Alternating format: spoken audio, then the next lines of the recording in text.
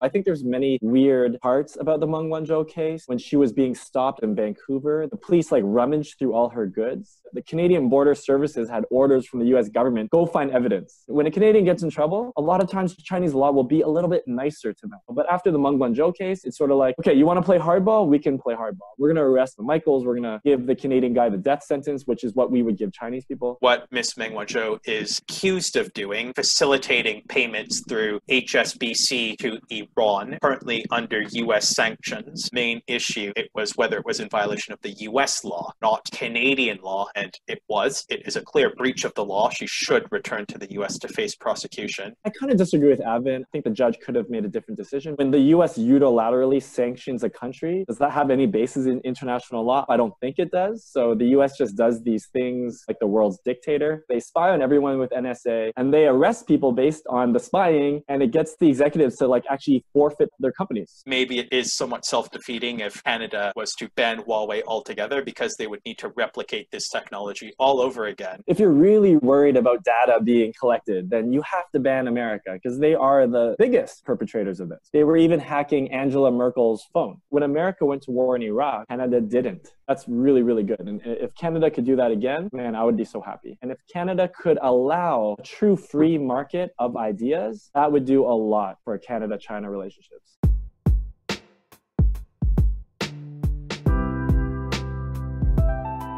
Hey guys, bonjour à tous, it's Keybros. So welcome back to part two of our Canadian episode of SOFTtalk. Let me remind you that we're talking to two guests from Canada. They are numuves and Avin.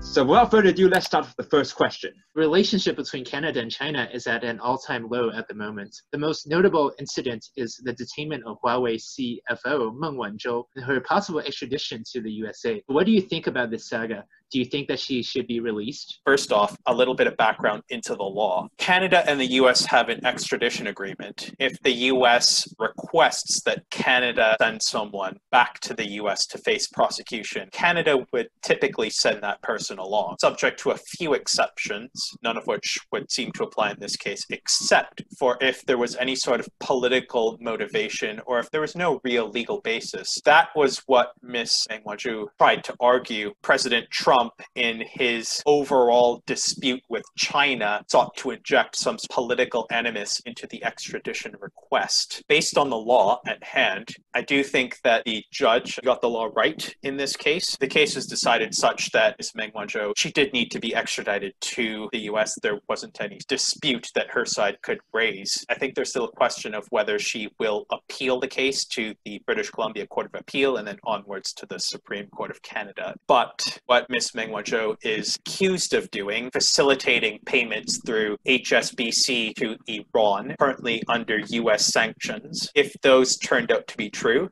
then they are in violation of the sanctions. It is a clear breach of the law. She should return to the US to face prosecution. Her side tried to argue these payments through HSBC to Iran were not in violation of Canadian law, but that was not the main issue. It was whether it was in violation of the US law, and it was. So the judge, I would submit, she was right to order the extradition. I kind of disagree with Avin. I think there's many weird parts about the Meng Wanzhou case. I think the judge could have made a different decision because I heard when she was being stopped in Vancouver, the police like rummaged through all her goods. They knew what they were doing. They were trying to find evidence of wrongdoing on her phone, on her hard drives. So that right there, that's clear that the Canadian Border Services had orders from the US government, go find evidence. And also it's very clear that Trump did politicize the situation. I mean, back in 2018, Trump said, hey, if we can make a trade deal, we can talk about Meng Wanzhou and throw that into the deal. So he definitely politicized it, made it seem as if this is part of the trade war. Arresting executives from other countries is just ridiculous. And it's happened before. It's, I believe it was a French company, Alstom. They arrested a bunch of executives 10 years ago. They wrote a book called The American Trap and how America does these kinds of things. They spy on everyone with NSA and they arrest people based on the spying and it gets the executives to like actually forfeit their companies. So Alstom had to sell parts of its company to GE. In return, there were a couple of Canadian nationals were detained in China. Two were being charged with espionage or spying offenses. Others were being charged with drug trafficking offenses. What is your view on these detainments? Do you think it is a fair deal if, let's say, China and Canada trade prisoners, with Meng going back to China and these Canadian nationals going back to Canada? I don't want to make too many speculations speculations, but the two Michaels, they seem to be working for the government because the way Justin Trudeau talked about them doing a trade, I don't know about that because I just don't think Meng Wanzhou should be treated like a criminal. When the US unilaterally sanctions a country, does that have any basis in international law? I don't think it does. So the US just does these things like the world's dictator. When they sanction random countries for random reasons, I don't think that really has a lot of legal basis. But I guess because Canada has an extradition deal with the US, Avin's correct that the US asks for someone, Canada sends them, right? Let me give you a really interesting, like layman view of what happens in mainland China. What Western Media never talks about is the fact that us foreigners in China, we always get a free ride. For example, if I'm a foreigner in China, especially if I'm white or like black, very obviously foreigner, I don't get that privilege. If you're an obvious foreigner in China, you don't wear a helmet, you're like riding a motorcycle. Most Chinese police officers aren't to care. They're to be like, okay, you're a foreigner, don't worry about it. Give you a little talk, like, okay, please wear a helmet next time. But they wouldn't do that with a Chinese person. Here's your ticket, you broke the law. They sort of give foreigners a little bit of slack. You don't understand the laws, you don't understand the culture. So that's what happened with the Canadian drug dealer. He was dealing a lot of drugs. I believe it was like four kilos of MDMA or something like that, and he was shipping it to Thailand. So he got caught, and then he got 20 years in China, which is totally not the norm. There's a very extreme law in China. China's very anti-drug because of the opium wars. 150 years ago, hundreds of millions of Chinese were getting addicted to opium, which were being smuggled in from Britain. And so anyone trafficking drugs will get like the death penalty for every kilo. So the Canadian deserves like four death penalties. But he didn't get that because he's Canadian. Because of the Meng Wanzhou thing, China was like, okay, you want to be tough on Chinese citizens in Canada?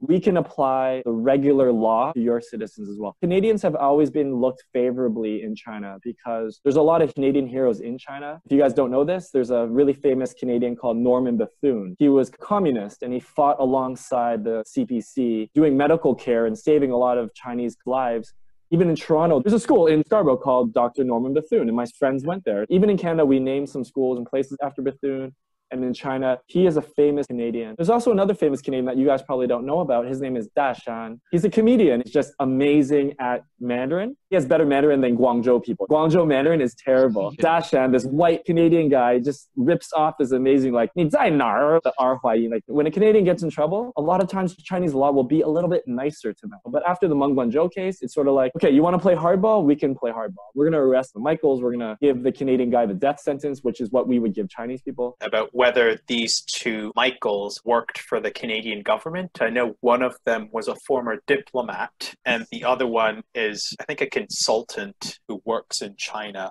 But whether there should be an exchange, it's difficult because typically countries might be against exchanging prisoners because it would just encourage other countries to take hostage citizens, use as bargaining. But in this case, it seems to be a very specific set of circumstances. You have Meng Wanzhou, who the US wants, and then you just have two maybe government workers or maybe random Canadian citizens in China. The circumstances are so unique. But I guess there's a bigger question of to what degree the US foreign policy is influencing Canada. Any country which engages the US financial system uses something called the SWIFT so if you're transferring money between two parties and at any point in the transfer the US is involved, then the US can set sanctions against countries in which the banks which are transferring the funds are located that's really why the US is able to exercise so much influence around the world, if only because most of the world uses the US financial system, trades in US dollars. Ever since President Trump was elected, and he has perhaps enforced this sanction law far more frequently than any of his predecessors ever did. See the European Union and perhaps China to a degree try to set up some parallel money transfer system so that they don't have to engage the US system they don't have to fall foul of the sanctions. So we can get around the political motivation for trading prisoners. So numuves were suggesting that China traditionally has a very serious anti-drug policy. From what I gather, that seems to be common throughout Southeast Asia. It's not just China that has this sort of law. Australian tourists, for example, who might travel to Singapore or Malaysia, if they're found with so much as a gram of marijuana on their person, that's life in prison or perhaps the death penalty. With the drug dealer case, I think it is a little bit suspicious, but they are applying regular domestic law in this case. So I would be far more hesitant to suggest that the drug dealer case was revenge as opposed to the two Michaels, which perhaps is a more parallel to the Meng Wanzhou case. According to a survey which has been conducted by the Pew Research Center, 67% of Canadians actually have an unfavorable view of China. So why do you think both the liberals and conservatives in Canada hate China? And what are the reasons for this constant China bashing both in the Canadian media and also in day-to-day life in Canada? I call it propaganda by omission. So just by never showing you information that you, you should know, that's a kind of propaganda. If I was to talk about my friend and I only talked about his good points, you only said, oh, he's super handsome and he's like the nicest person and I left out the fact that he stole the food from the fridge or flirted with my girlfriend. You're only getting one very slanted point of view of this guy. That's exactly what's happening with Western media. And I think if they saw more videos presenting what's happening on the ground in China, I think they would change their mind, I think. Like I said, I was very anti China for my whole life. And only after traveling here and living here, I slowly changed. I was indoctrinated and now I've unindoctrinated myself. I think liberal conservative consensus is based on this overall anti China campaign that the West in general has, not just Canada, the Five Eyes. I think it's very unfortunate. I would love peace. That's why I made my channel. I would love to have world peace and not containment and color revolutions. Thank God Hong Kong did not become a Syria. seriously. Right now, we're seeing a transfer of power from the West to the East. The last time that there was such a transfer between global superpowers, you have to go back back to really start of the 20th century from the UK to the US, people might have been more comfortable with that transition because the UK and the US had similar legal, social, and economic principles. People in the UK, they might have felt somewhat uneasy about having to take a step back, but at the same time, they might have felt a bit more comfortable knowing that even if the US supplanted them as the global superpower, they were still so similar to the UK that there wouldn't be much of a change. Whereas now you have the US, which is ceding power to China, and many people in the West might feel uneasy about surrendering their position at the top to a foreign power which has different legal traditions to what they're accustomed. I do think that some of this unease between liberals and conservatives conservatives they share about China is simply because if China was to become the dominant superpower, many people in Canada, they might feel that they wake up one morning and they'll have to get used to a different way of life. Now, I would suggest that is not what China necessarily wants. China wants to be a participant in the global economy, which is something separate to what the Soviet Union wanted. They wanted to completely supplant the US capitalist system with the socialist system. I do think that but some of the fears in the West are unfounded.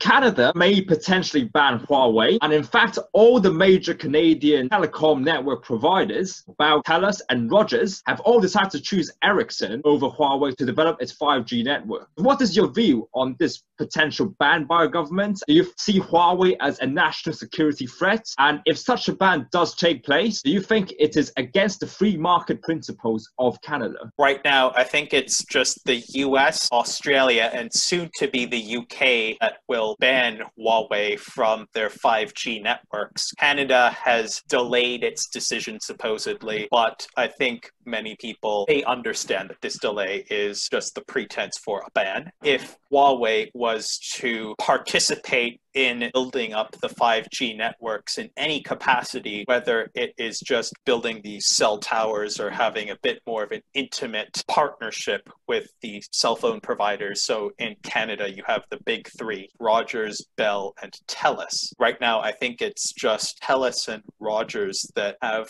Huawei technology in their cell towers. They were petitioning the Canadian government to say, okay, you want to ban Huawei from some of the more sensitive technologies, but let us keep cell towers at least because it would cost billions of dollars to replace this. So, from that perspective, I would think maybe it is somewhat self defeating if Canada was to ban Huawei altogether because they would need to replicate this technology all over again. There's a suspicion that Canada is doing this, if only because the US is ordering them to, with China and supercomputers. I think it was maybe 20 years ago, the West banned such exports of these computers to China, and now I think China has four of the 10 fastest supercomputers in the world. From an economic perspective, I think it's self defeating to ban Huawei. From a national security perspective, maybe it's reasonable. I don't know enough about that. From a competitiveness perspective, it is likewise self defeating. It's idiotic to ban Huawei. Logically, think about it, right? If we're banning 5G towers because we're worried that the Chinese government might be sipping information, then you have to ban everything from China because China's making everything. All the laptops, all the iPhones, it's making everything. China could be sneaking in back doors into every single fucking device that it's selling. And more importantly, America has already proven to be the biggest spy of the world, right? Like if you look at what Edward Snowden came out with in 2013, he just wrote a book called Permanent Record, came out last year, 2019. He just put it all out there. The NSA's master plan, they've been been collecting all the world's metadata for 10 years and storing it in these huge data centers in Utah, I believe. If you're really worried about data being collected, then you have to ban America because they are the biggest perpetrators of this. They were even hacking Angela Merkel's phone. If you look at it from a war perspective, it makes sense. If you want to try to hurt China, try to contain China, yeah, of course. Let's ban all of their stuff. Let's ban Huawei, let's ban TikTok, let's ban WeChat, which they're trying to do. But from a like a logical point of view, no sense. And from an economical point of view, I totally agree with Avin. China's just going to develop its own semiconductors, its own everything. All these moves from the US have increased Chinese nationalism on the mainland. I do agree with that point. President Obama signed the Iran nuclear deal. It was thought he did so, if only because it would weaken the hardliners' influence in Iran, such that more of the people would be more sympathetic to the US perspective. And I do see some parallel to that with China. If the West was a bit more accommodating to China, perhaps that would weaken the more hardliners' perspective in China. Whereas if the West was to shun China, then that would only promote the hardliners' perspective that, okay, the West, they see us as an enemy, well, then we should see the West as an enemy likewise. Despite the tensions between Canada and China, China still remains Canada's largest trading partner in Asia and the second largest trading partner in the world if we exclude the EU, which is not a country. How do you think this tension can be resolved in the future? Canada and the US have been traditionally close allies. So, whatever the US's foreign policy, Canada soon adopts as its own. There are very few divergences between Canada and the US, although with President Trump coming into power, it has perhaps cracked that traditional artifice. There have been some divergences between Canada and the US. One one of which I think is China. China is one of Canada's biggest trading partners, so Canada is reluctant to lose that, even though Canada might be a bit more outspoken about some of the human rights controversies in China. It's often joked about in Canada that those criticisms are more muted whenever federal ministers visit China for trade missions. Going forward, perhaps from an economic perspective, Canada can realign itself with China, but I think the best policy would simply be dependent on who wins the next US presidential election because Canada by itself, I mean, we're a middle power, we are no threat to China. If we speak out diplomatically, the only way we can exercise any sort of influence is if we gather other countries to our cause. So we saw that with the two Michaels, where Canada managed to gather a coalition of its allies to speak out against China, and then China responded, Canada, you should not be doing this. Maybe if Canada gathers a coalition of the willing, it might be possible owing to present circumstances with many countries adopting a more nativist, nationalist policy. That would be difficult, but I do think that that is the best way forward because Canada is simply too small internationally to exercise much influence by itself. I didn't realize that China was one of the largest trading partners of Canada, but that's not a surprise because China is actually the largest trading nation on earth. That's a hopeful thing. The fact that China and Canada have such a nice economic relationship, it means that going forward, there is a chance we can just stop this new Cold War in its tracks. And let's just have peaceful, respectable relationships. I think that's a much better model than what happened previously with Russia. So I hope that will convince a lot of people to step back a little bit from America's aggressiveness. Canada can speak up. They've done this a few times in the past. When America went to war in Iraq, Canada didn't. That's really, really good. And if Canada could do that again, man, I would be so happy. If Canada bans Huawei and goes with Nokia, they're basically paying two or three times more for the same product. That's not good for Canada. Canada's going to lose a lot if it tries to be aggressive. Biggest battleground in the new Cold War is the media. The fact that voices like Max Blumenthal, an amazing investigative reporter, he never gets on any mainstream shows because the mainstream media doesn't want to hear real investigative reporting. I just watched a video on YouTube by Joseph Stiglitz, a Nobel Prize winning economist. He talks about China in a very favorable way, and he never gets invited on CNN. We're only getting these very politicized voices. We're not getting experts. We're not even getting people like Avin, just intelligent, normal people. And if Canada could allow a true free market of ideas, that would do a lot for Canada China relationships. Before we end, we have a few questions directed at numuves. As a Canadian citizen, did you ever have an identity clash between your Canadian nationality and your Chinese roots? Which country do you identify with more? I identify as Canadian because I was born and raised in Toronto, Canada. Uh, when I go to China, they don't really understand because I look like everyone else. So they get very confused when I say I'm Canadian. They watch Hollywood movies, and when they think about America and Canada, they just think about white people. Kind of sad that Chinese people are brainwashed to think that Americans and Canadians are white. That's not true. Did I ever feel confused when I lived in Canada? Absolutely. I think a lot of Canadians do. You grow up in this country where you have like maybe some Chinese values, maybe some Indian values, maybe some Jamaican values. There's so many people in Toronto, and they all bring other cultural values to the table. But then the majority of Canadians are kind of this like white group you can't help but conform to the majority group. I just often felt in Canada that I had to be a white person. And if I displayed any of my very small Chinese values, I would be a little bit weird, socially awkward. So I always tried to hide that unique part of myself not in an offensive way, just I wanted to fit in. I wanted to have fun with all the people in the office, go party, go drink beers. And I think many Canadians feel the way I do, like some identity crisis. How was it like growing up in Canada as an ethnic Chinese person? And did you face some sort of discrimination or prejudice? I grew up in Toronto in a very working class neighborhood. So everybody was different. There were like Indians, Jamaicans, Irish. So I felt very comfortable growing up in that area of Toronto. But there were some times people would say things like go back to China or some weird, stupid shit whatever. I didn't really care. After graduating university, getting a job, I moved downtown, like Ossington. Ossington's a very hipster area, very cool area. I still love going there. I was shocked at the racism. I really was. Because there's one day walking down the street where I live, and this white dude is just like yelling profanity at me fuck you. I was just shocked by it. In my neighborhood where I live, there have been instances where I've just been really surprised, not in a good way. It's bad because I identify as Canadian. It's really strange when I get attacked just because my skin is darker or my eyes are smaller. It just goes to show that there are people that support the Trump idea that America, Canada should be white. It's really disheartening. But otherwise, I loved growing up in Canada. I'm very happy to be Canadian and I'm, I'm proud to be Canadian. Yeah. Even though I've grown up in Hong Kong, spent most of my life here, I feel like an outsider. Canada and Hong Kong are supposed to be inclusive and diverse places. Whatever language you speak, as long as people understand, that should be accepted, right? It's kind of like speaking French in Canada. You wouldn't tell a francophone person in Canada shouldn't be speaking French, you should be speaking English instead. In the world right now, in general, there's just too much of this division. You speak English, I speak Cantonese, we're different people. But at the end of the day, we're all part of the same society. There has to be some unifying factor, right? Hong Kong, if you tell everybody to speak Cantonese, then what about the white people here? They're also people, right? They're also Hong Kong citizens. Why do you have to divide people according to their immutable characteristics? Why can't we just all be Hong Kongers and be harmonious? Whenever I talk to my mainland friends, it's not like they'll ostracize me simply because their perception of Hong Kong people is quite negative. And it's very different from how Hong Kong people treat mainlanders. It's like, oh, you're a mainlander, you speak Mandarin, therefore I don't want to talk to you. But mainlanders have a way different mentality in relation to Hong Kongers. In Canada, my differences were kind of a liability. But in China, my differences are this huge positive where I can actually make a lot of money. It's so interesting. Last question. What made you decide to come to China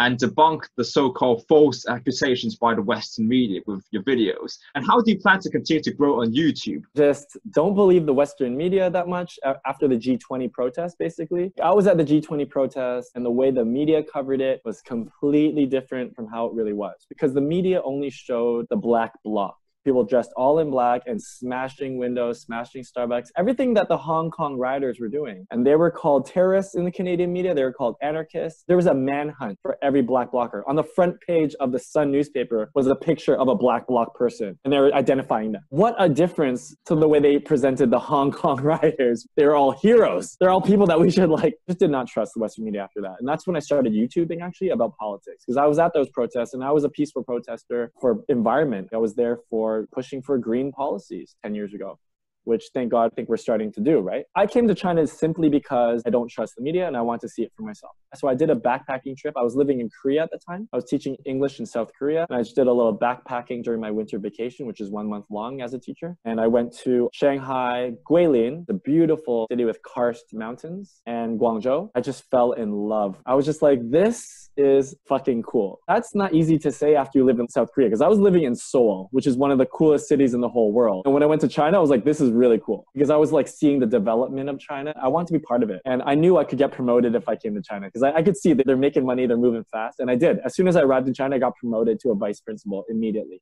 That's why I arrived. And I did not want to make YouTube videos when I first came. When I first came to China, I was indoctrinated to be against China. So I didn't really trust anything about China. I didn't trust my job. I didn't trust the pay. It took me about two or three years to deprogram myself through real life experience, not through videos like yours, but just by living life, by falling in love, by working at jobs, by starting my own business. I was like, China's a really good, really, really good. How do I want to grow? Well, I guess maybe joining more things like this, participating more live streams, and just making good content. I think that's how I'd like to grow. So this marks the end of our video. Again, huge thank you to Avin and numuves for coming on to our channel. Yeah, so hope you guys enjoyed our episode. Please stay tuned for the next ones. So see you in the next part. Bye.